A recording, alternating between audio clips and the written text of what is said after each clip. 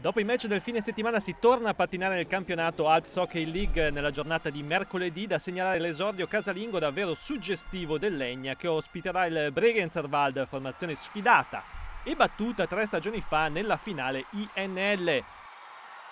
Nella stessa giornata il Gardena se la vedrà al Pranives col KC2 e il Renon sarà impegnato a Kitzbühel. Questa sera invece impegni esterni per il Valpusteria e Vipiteno di scena rispettivamente sui ghiacci di Feldkirch e Lustenau.